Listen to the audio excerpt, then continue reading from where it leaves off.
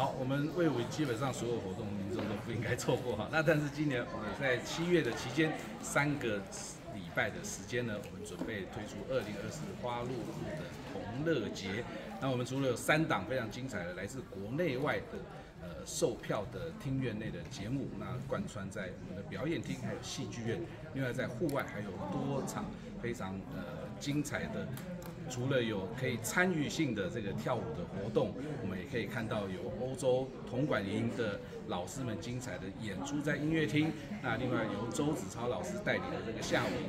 呃学员们也会在我们的公共钢琴旁边来做这个芭蕾舞的这个展示。那小朋友们可以参加花露露的唱跳会，还有连续三年来举办的这个花露露的这个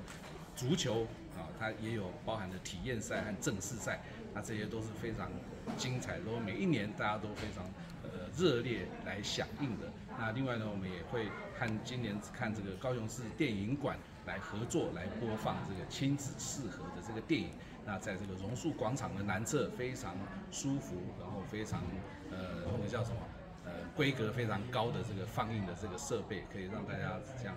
在这个很舒服呃的这个户外的这个环境下来欣赏电影。那另外呢，我们除了有三个呃花露露的延伸商品之外呢，我们也举办这个花露露的这个市集，还有小老板市集，就小朋友们也可以在这边感受到开店还有当店长的这个乐趣。那我们一般在做的，像比如说探索管风琴，或者说导览活动，我们都有特别为了这个小孩子们来安排这个同乐节的限定的这个活动。那我们是不是还有准备一些工作方案，民众可以进比较深入去呃了解我们戏剧的一个呃呃部分，对不对？对，我们还有准备了这个就是小孩子以小孩子为主的这个跟表演艺术相关的这个戏剧营。那另外呢，我们在这个演出之后，呃，也安排了一个幕后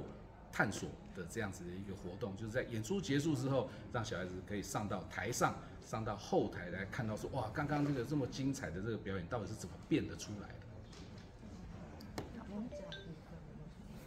呃，票价的部分呢，我们从四月几号我忘记了，四月几号？十八号，十八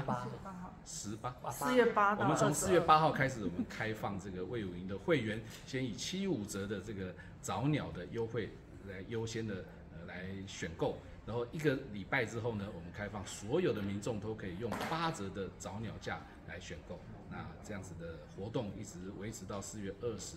一号，二十二，四月二十二号。谢谢，谢谢。